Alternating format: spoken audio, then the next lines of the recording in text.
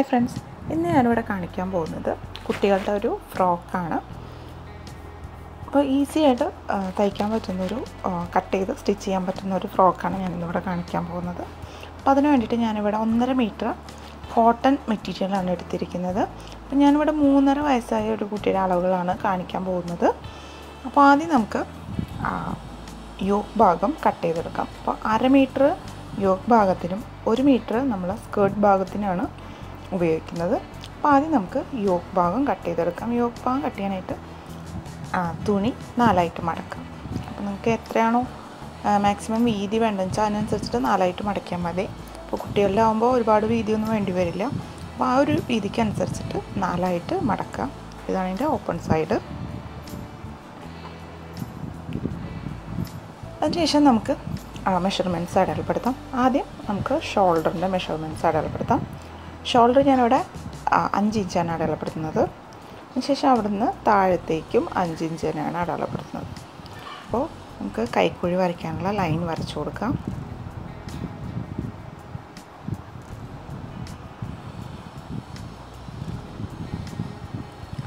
ഇതുപോലെ കൈക്കുഴിയുടെ ഭാഗം ഇതുപോലെ യോജിപ്പിച്ച് വരച്ചു കൊടുക്കാം. ഇനി നമുക്ക് നെക്കിന്റെ ഭാഗം അടയാളപ്പെടുത്താം. നെക്ക് ഞാനിവിടെ രണ്ട് ഇഞ്ചാണ് അടയാളപ്പെടുത്തുന്നത്. അപ്പോൾ ഞാൻ ഫ്രണ്ട് നെക്കും ബാക്ക് നെക്കും സെയിം അളവാണ് അടയാളപ്പെടുത്തുന്നത്. നിങ്ങൾക്ക് വേണമെങ്കിൽ സെപ്പറേറ്റ് ചെയ്ത് കട്ട് ചെയ്യാം ലാസ്റ്റ് ഞാനിവിടെ രണ്ടും ഒരേ അളവായതുകൊണ്ട് ഒപ്പം വരയ്ക്കുകയാണ് ചെയ്യുന്നത്. താഴത്തേക്കും രണ്ടര ഇഞ്ച് വീതിയും രണ്ടര ഇഞ്ചാണ് നെക്ക് അതിനുശേഷം നമുക്ക് നമ്മളുടെ ചെസ്റ്റ് മെഷർമെന്റ് അടയാളപ്പെടുത്താം. ചെസ്റ്റ് മെഷർമെന്റ് ഞാനിവിടെ ആറ് ഇഞ്ചാണ് അതായത് നമ്മളുടെ ചെസ്റ്റിന്റെ ചുറ്റളവ് നാലൊരു ഭാഗം എടുത്തിട്ട് എക്സ്ട്രാ ഒരു ഇഞ്ച് കൂടുതൽ എടുത്തിട്ട് ഞാനിവിടെ ആറ് ഇഞ്ചാണ് ഇടപെടുത്തത് എന്നിട്ട് ആ ഒരു പോയിന്റിൽ നിന്ന് നമുക്ക് കൈക്കുഴി വരച്ചു കൊടുക്കാം.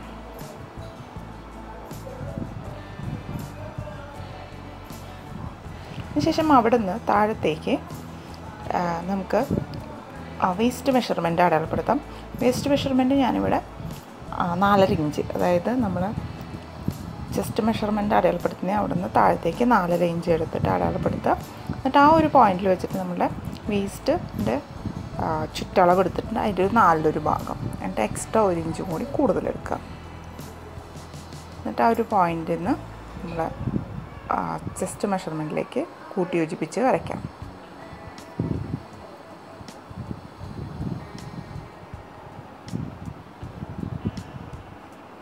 ശേഷം നമ്മൾ നമ്മൾ എക്സ്ട്രാ ഒരു ഇഞ്ച് എടുത്തിട്ട് അരച്ചു കൊടുക്കുക.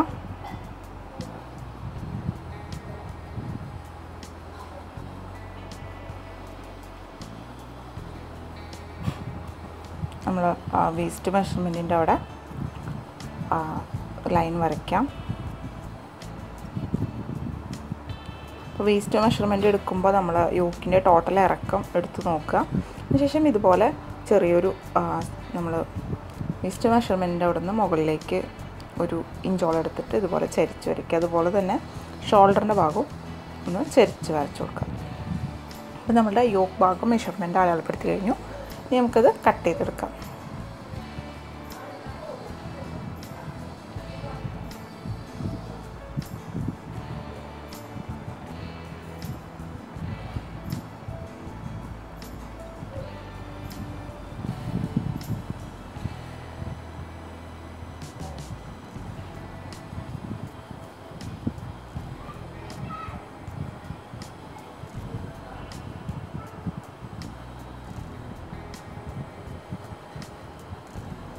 നമ്മൾ യോക്ക് ഭാഗം കട്ട് ചെയ്ത് കഴിഞ്ഞു.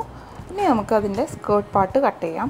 അപ്പോൾ സ്കേർട്ട് പാർട്ട് കട്ട് ചെയ്യാനായിട്ട് നമ്മൾ ബാക്കിയുള്ള ഒരു മീറ്റർ തുണി എടുക്കാം എന്നിട്ട് അത് നാലായിട്ട് മടക്കുക. അതായത് ആദ്യം രണ്ടായിട്ട് തുണിയുടെ അതായത് ഒരു മീറ്റർ തുണി മുഴുവനായിട്ട് നാലായിട്ട് മടക്കുക. അതായത് കറക്റ്റ് നടു മടക്കിയിട്ട് നാലായിട്ട് മടക്കാം. ഞാനിവിടെ നാലായിട്ട് മടക്കി. അതിന് ശേഷം നമുക്ക് ഇതിനെ ഇതാ മടക്കിയ കോർണറിൽ വെച്ചിട്ടാണ് നമ്മൾ ഇതാണ് മടക്കിയ കോർണർ വരുന്നത്. ആ മടക്കിയ കോർണറിൽ വെച്ചിട്ട് നമുക്ക് നമ്മുടെ വേസ്റ്റ് മെഷർമെന്റ് അടയാളപ്പെടുത്തിയ വേസ്റ്റ് മെഷർമെന്റാണ് നമ്മളവിടെ അടയാളപ്പെടുത്തുന്നത്. അപ്പോൾ നമ്മൾ കട്ട് ചെയ്ത് വെച്ചിരിക്കുന്ന ഈ യോക്കിന്റെ ഭാഗം എടുത്തിട്ട് ഇതുപോലെ ആ കോർണറിന്റെ സൈഡിൽ വരുന്ന വിധത്തിൽ ഇതുപോലെ വെച്ച് കൊടുക്കുക. രണ്ട് ഭാഗവും രണ്ട് എഡ്ജും ആ ഒരു ഭാഗത്തേക്ക് മുട്ടണ വിധത്തിൽ വെച്ച് കൊടുക്കുക. അതിനുശേഷം അതേ സെയിം അളവ് നമുക്ക് ഒരു ചെരിവ് കൊടുത്തിട്ട് തന്നെ വരച്ചു കൊടുക്കുക.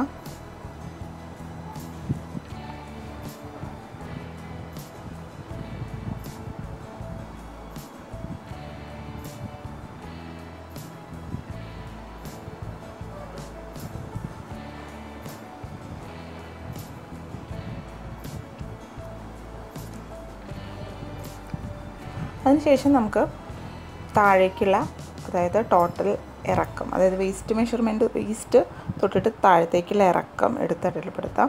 അപ്പോൾ നമുക്കൊരു സൈഡിലേക്ക് നമുക്ക് അത്രയും ഇറക്കം കിട്ടില്ല. കാരണം ഇത് വീതി കുറഞ്ഞ തുണി ആയതുകൊണ്ട് അപ്പം ഞാനിപ്പോൾ താഴത്തേക്ക് പതിനെട്ട് ഇഞ്ചാണ് അടയാളപ്പെടുത്തുന്നത്. അപ്പോൾ നമുക്ക് കിട്ടുന്ന ഭാഗത്ത് അടയാളപ്പെടുത്തുക ആദ്യം. അപ്പോൾ ഇതുപോലെ നീക്കി വെച്ച് നീക്കി വെച്ചിട്ട് നമ്മൾ അടയാളപ്പെടുത്തിയെടുത്തുനിന്ന് നീക്കി വെച്ചിട്ട് ഞാനിവിടെ പതിനെട്ട് ഇഞ്ച് ഇതുപോലെ നീക്കി വെച്ച് നീക്കി വെച്ചിട്ട് അടയാളപ്പെടുത്തുക. ഓരോ പോയിന്റ് ഇട്ട് കൊടുക്കുക. അപ്പോൾ ഒരു സൈഡിലേക്ക് നമുക്ക് അത്രയും പതിനെട്ട് ഇഞ്ചോളം കിട്ടില്ല. അപ്പോൾ കിട്ടുന്ന അതുവരെ ആദ്യം നമ്മൾ അടയാളപ്പെടുത്തുക. അതിനുശേഷം നമ്മൾ കട്ട് ചെയ്ത് എടുത്ത ബാക്കി പീസ് അവിടെ അറ്റാച്ച് ചെയ്ത് അത് ഷേപ്പിൽ കട്ട് ചെയ്തിട്ട് അറ്റാച്ച് ചെയ്യാണ് നമ്മൾ ചെയ്യുന്നത്. അപ്പം നമ്മൾ വീതിയുള്ള തുണിയാണെങ്കിൽ നമുക്കങ്ങനെ അറ്റാച്ച് ചെയ്യേണ്ടി വരില്ല. നേരിട്ട് തന്നെ നമുക്ക് പതിനെട്ട് ഇഞ്ച് കിട്ടും. വീതി കുറഞ്ഞ തുണിയാണെങ്കിൽ നമുക്ക് ഇതുപോലെ ചെയ്താൽ മതി. സാധാരണ റണ്ണിങ് മെറ്റീരിയൽ നമുക്ക് അത്യാവശ്യം വീതി കിട്ടും. ഇതെന്ന് പറയുമ്പോൾ നൈറ്റി പീസാണ് അതുകൊണ്ടാണ് അത്രയും വീതി കിട്ടാൻ വരുന്നത്. സാധാരണ റണ്ണിങ് മെറ്റീരിയൽ ഒരുപാട് വീതി ഉണ്ടായിരിക്കും. അപ്പോൾ നമുക്ക് ഡയറക്റ്റായിട്ട് കട്ട് ചെയ്തെടുക്കാൻ പറ്റും. അപ്പോൾ ആദ്യം നമ്മൾ പതിനെട്ട് ഇഞ്ച് അടയാളപ്പെടുത്തിയ ആ ഭാഗം ആ പോയിന്റുകൾ കൂട്ടി യോജിപ്പിച്ച് വരയ്ക്കുക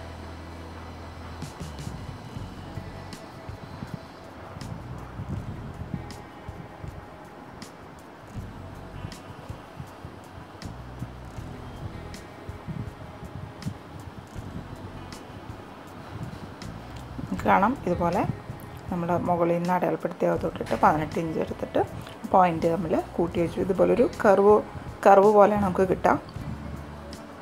അപ്പോൾ നമ്മൾ ആദ്യം പതിനെട്ട് ഇഞ്ച് ഇതുവരെ കിട്ടുന്നു അതുവരെ അടയാളപ്പെടുത്തിയിട്ട് കട്ട് ചെയ്യുക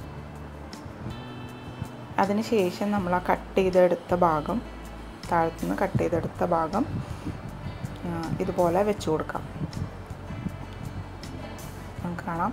അപ്പോൾ ഇതുപോലെ വെച്ച് കൊടുത്തു കഴിഞ്ഞാൽ നമുക്ക് ആ ഒരു പോർഷൻ മുഴുവനായിട്ട് കിട്ടും. എന്നിട്ട് നേരത്തെ ചെയ്ത പോലെ തന്നെ അവിടുന്ന് മുകളിൽ അടയാളപ്പെടുത്തി കൊടുത്തുനിന്ന് താഴത്തേക്ക് പതിനെട്ട് ഇഞ്ച് എടുത്തിട്ട് ആ പോയിന്റ് അടയാളപ്പെടുത്തിയിട്ട് അതേ ഷേപ്പിൽ കട്ട് ചെയ്യുക. അപ്പോൾ നമ്മൾ കട്ട് ചെയ്യുമ്പോൾ നാല് പീസ് കട്ടിങ്സ് നമുക്ക് കിട്ടും.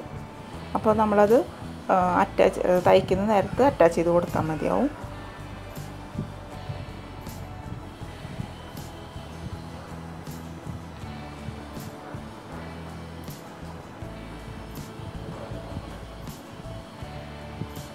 കാണാം. അപ്പോൾ ഇതുപോലെ നമുക്ക് ഇതുപോലെ ഒരു സർക്കിൾ ഷേപ്പിലാവും നമുക്കിത് കിട്ടുക. നമ്മൾ കട്ട് ചെയ്ത് കഴിഞ്ഞു. അപ്പോൾ നമുക്കിത് കട്ട് ചെയ്ത് കഴിഞ്ഞാൽ അതൊരൊറ്റ പീസായിരിക്കും അതായത് നമ്മൾ സർക്കിൾ മോഡലാണ് കട്ട് ചെയ്യുന്നത്. അപ്പോൾ ആ നമ്മൾ ആ മടക്കിയ രണ്ട് ഭാഗം കൂടിയിട്ട് സെപ്പറേറ്റ് ചെയ്ത് കൊടുക്കുക. കാരണം നമ്മൾ ഫ്രണ്ട് പാനലും ബാക്ക് പാനലും വേറെ വേറെ സെപ്പറേറ്റ് ചെയ്തിട്ടാണ് നമ്മൾ തയ്ച്ചു കൊടുക്കുന്നത്. നമ്മൾ സ്കേർട്ടൊക്കെ ആണെങ്കിൽ നമുക്കത് സെപ്പറേറ്റ് ചെയ്ത് കൊടുക്കേണ്ട ആവശ്യമില്ല. അപ്പോൾ നമ്മൾ ഫ്രോക്ക് തയ്ക്കുമ്പോൾ നമുക്ക് തയ്ക്കാൻ എളുപ്പത്തിന് ഇതുപോലെ അത് രണ്ട് പീസാക്കിയിട്ട് കട്ട് ചെയ്ത് കൊടുക്കുക. ഇത് ഒറ്റ പീസായിരിക്കും നമ്മൾ ആദ്യം കട്ട് ചെയ്യുമ്പോൾ. അപ്പോൾ ഇതുപോലെ നമ്മൾ മടക്കിയ ഭാഗങ്ങൾ സെപ്പറേറ്റ് ചെയ്ത് കൊടുക്കുക.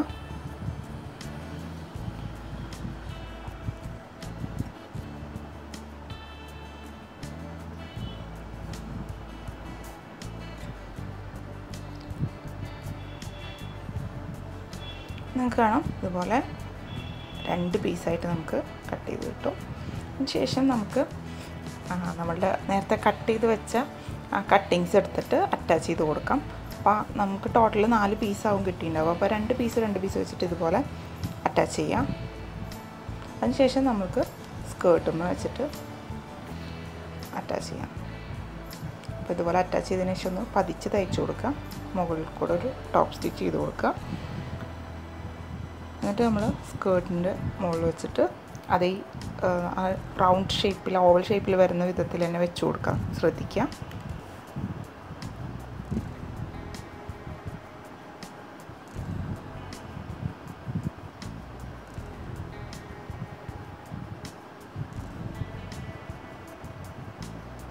അതുപോലെ തയ്ച്ചിട്ട് ഇതുപോലെ നേരത്തെ ചെയ്ത പോലെ തന്നെ ഒരു ടോപ്പ് സ്റ്റിച്ച് ചെയ്ത് കൊടുക്കാം. ഇതുപോലെ ഫ്രണ്ട് പാനലും ബാക്ക് പാനലും ഇതുപോലെ തന്നെ ചെയ്ത് കൊടുക്കുക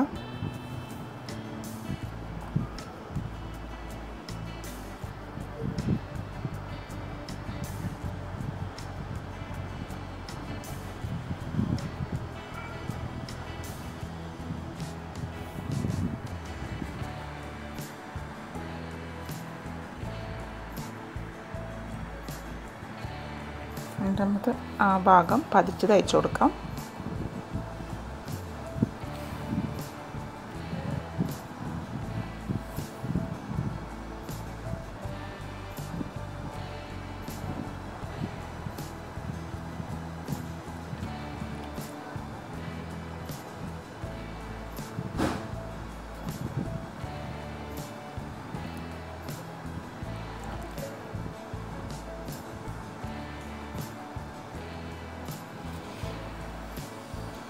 ഇനി നമുക്ക് യോക്ക് ഭാഗത്തിന്റെ നെക്കൊക്കെ തയ്ച്ചു കൊടുക്കാം. അപ്പോൾ ആദ്യം നമ്മൾ യോക്ക് ഭാഗത്തിന്റെ ബാക്ക് പാനൽ എടുക്കാം. എന്നിട്ട് ഇത് കറക്റ്റായിട്ട് നടുമടക്കുക. അതിന് ശേഷം നമുക്ക് ഹുക്ക് വെക്കാനുള്ളൊരു ചെറിയ ഗ്യാപ്പ് ഇട്ടിട്ട് കട്ട് ചെയ്യണം. അപ്പോൾ ഇതുപോലെ ബാക്ക് പാനൽ നടുമടക്കുക. അതിന് ശേഷം ഇതിന്റെ കഴുത്തിന്റെ അവിടെ നിന്ന് ഒരു മൂന്നോ നാലഞ്ചോ ഇറക്കത്തിൽ ഒരു കട്ട് ചെയ്തിട്ട് കൊടുക്കുക അതിന് ശേഷം നമുക്ക് ഷോൾഡർ തയ്ച്ചു കൊടുക്കാം. ഷോൾഡർ രണ്ട് ഭാഗം കൂടി അറ്റാച്ച് ചെയ്യുക. രണ്ട് പാനലും കൂടിയിട്ട് അറ്റാച്ച് ചെയ്ത് കൊടുക്കുക.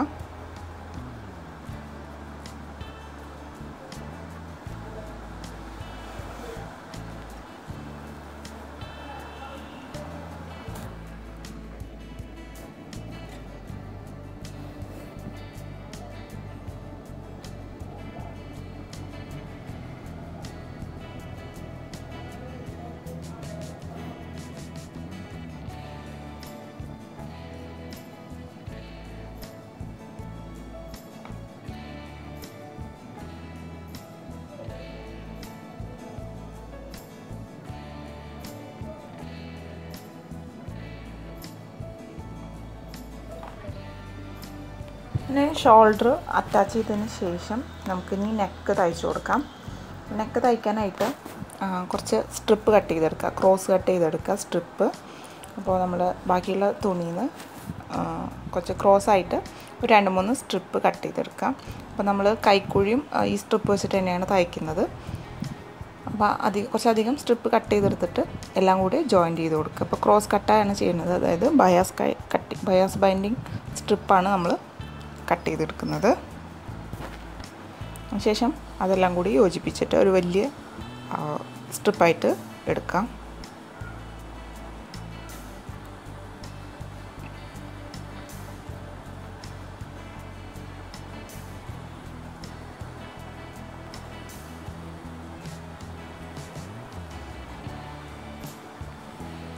അതിനുശേഷം നമ്മൾ നമ്മൾ കട്ട് ചെയ്ത ഹുക്ക് വെക്കാനായിട്ട് കട്ട് ചെയ്ത ആ ഒരു ഭാഗം തൊട്ടിട്ട് ചുറ്റും തയ്ച്ച് വരിക. അപ്പോൾ ഈ സ്ട്രിപ്പ് രണ്ടായിട്ട് മടക്കുക. അതിനുശേഷം നല്ല വശത്ത് വെച്ചിട്ട് അതിന്റെ അഡ്ജിൽ കൂടെ തയ്ച്ചു കൊടുക്കാം നമ്മൾ നേരത്തെ തയ്ച്ച സ്ട്രിപ്പ് ചീത്തവശം ഉള്ളിലാക്കിയിട്ട് മടക്കുക. അതിനുശേഷം നമ്മളുടെ ഫ്രോക്കിന്റെ നല്ല വശത്ത് വെച്ചിട്ട് തയ്ച്ചു കൊടുക്കുക ഇതുപോലെ.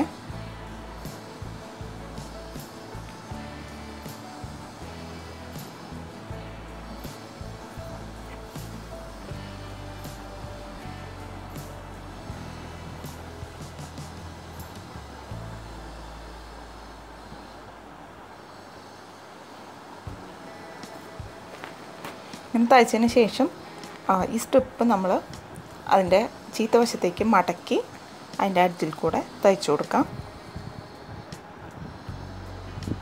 അപ്പോൾ ഇതേ മെത്തേഡ് തന്നെ നമ്മൾ കൈക്കുഴിയിലും ചെയ്യുക കൈക്കുഴിയും ഇതുപോലെ തന്നെ തയ്ച്ചു കൊടുക്കാം. നമുക്ക് ഈ സ്ട്രിപ്പ് വെച്ചിട്ട്.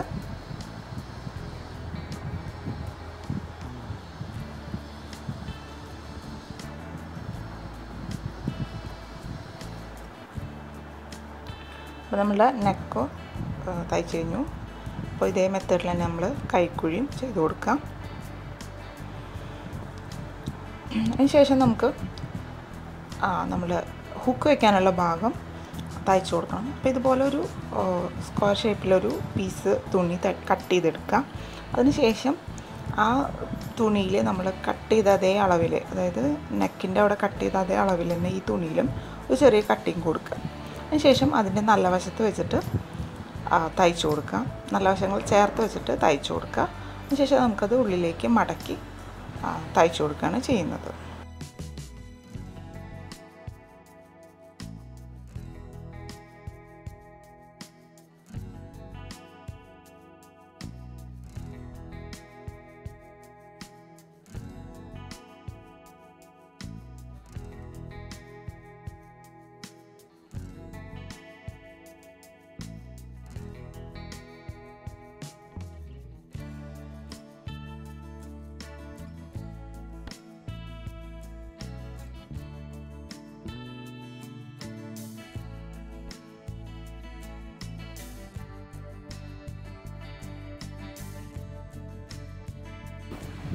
അങ്ങനെ തയ്ച്ചതിന് ശേഷം ആ ഒരു ഭാഗം ഉള്ളിലേക്ക് ആ ഒരു പീസ് നമുക്ക് ചീത്ത വശത്തേക്ക് മറിച്ച് തയ്ച്ച് മറിച്ച് അതിന്റെ എഡ്ജിൽ കൂടെ തയ്ച്ചു കൊടുക്കാം.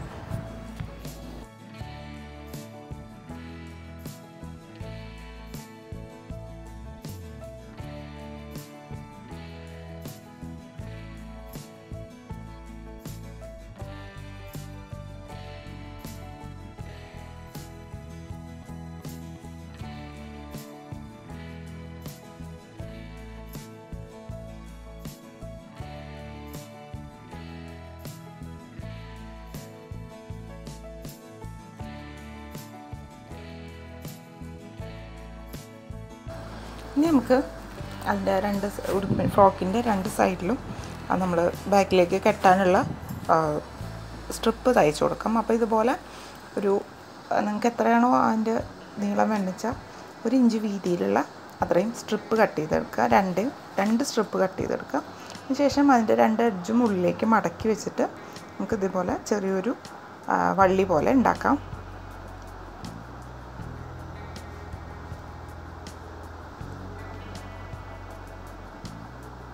നമുക്ക് വീതി കൂടിയ വള്ളി വേണമെന്നുണ്ടെങ്കിൽ അതിനനുസരിച്ചിട്ടുള്ള വള്ളി തയ്ച്ചു കൊടുത്താൽ മതി. ഞാനൊരു വീതി കുറഞ്ഞ വള്ളിയാണ് വയ്ക്കുന്നത് വീതി കൂടുതലുള്ള വള്ളിയാണെങ്കിൽ ഒരു നാലോ അഞ്ചോ ഇഞ്ച് വീതിയിലുള്ള സ്ട്രിപ്പ് രണ്ടെണ്ണം കട്ട് ചെയ്യുക അതിന് ശേഷം ഇതുപോലെ തന്നെ നമ്മൾ തയ്ച്ചു കൊടുക്കാം.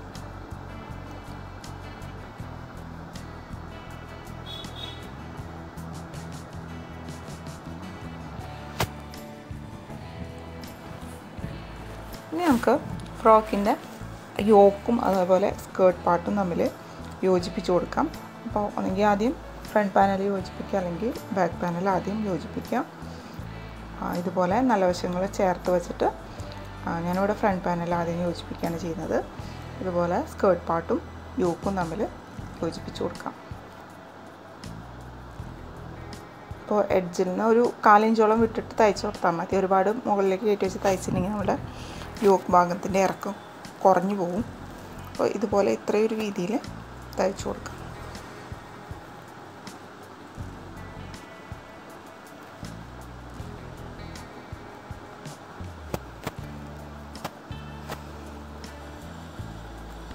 ഇതുപോലെ തന്നെ ഫ്രണ്ട് പാനലും ബാക്ക് പാനലും തയ്ച്ചു കൊടുക്കാം. അതിനുശേഷം നമുക്ക് അതിന്റെ രണ്ട് സൈഡുകളും തമ്മിൽ കൂട്ടി യോജിപ്പിക്കാം. അപ്പോൾ രണ്ട് സൈഡും കൂട്ടി യോജിപ്പിക്കുമ്പോൾ ആ നമ്മൾ തയ്ച്ച് വെച്ചിരിക്കുന്ന നമ്മൾ ആ വള്ളി എടുത്തിട്ട് അതിന്റെ ഇടയിൽ വെച്ച് കൊടുക്കുക. അപ്പോൾ നമ്മൾ വെച്ച് കൊടുക്കേണ്ട സ്ഥലം എന്ന് വെച്ചാൽ യോക്ക് ഭാഗവും സ്കേർട്ട് ഭാഗവും ടച്ച് ചെയ്ത ആ ഒരു ഭാഗത്ത് വെച്ചിട്ട് വേണം നമ്മൾ വള്ളി വെച്ച് കൊടുക്കാൻ അതിനുശേഷം നമുക്ക് കൈക്കുഴിയുടെ അവിടെ തൊട്ടിട്ട് താഴത്തേക്ക് താഴത്തെ അറ്റത്ത് ഭാഗം വരെ തയ്ച്ചു കൊടുക്കാം.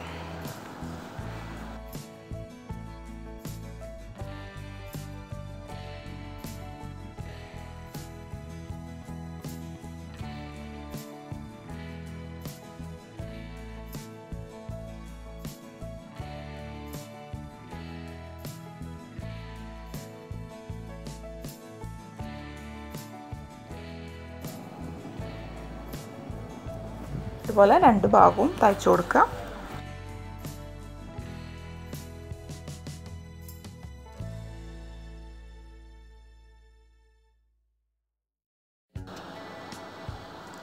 നമ്മുടെ ഫ്രോക്ക് തയ്ച്ചു കഴിഞ്ഞു. അപ്പോൾ ഇതിന്റെ നമുക്ക് ഏറ്റവും താഴത്തെ ഭാഗം മടക്കി തയ്ക്കാൻ പറ്റില്ല. കാരണം നമ്മൾ അത് സർക്കിൾ ടൈപ്പിലാണ് കട്ട് ചെയ്തത്. അപ്പോൾ താഴെ ഭാഗം നമുക്ക് ഇന്റർലോക്ക് ചെയ്ത് കൊടുക്കാനേ പറ്റുള്ളൂ. അപ്പോൾ താഴത്തെ ഭാഗം ഇതുപോലെ ചെറുതായിട്ട് മടക്കിയിട്ട് ഇന്റർലോക്ക് ചെയ്ത് കൊടുക്കുക. അതുപോലെ തന്നെ ഹുക്ക് വയ്ക്കാനുള്ള ഭാഗത്ത് കൊളുത്തും ഹുക്കും നമുക്ക് കൈ കൊണ്ട് തുന്നി കൊടുക്കുകയാണ് ചെയ്യേണ്ടത്.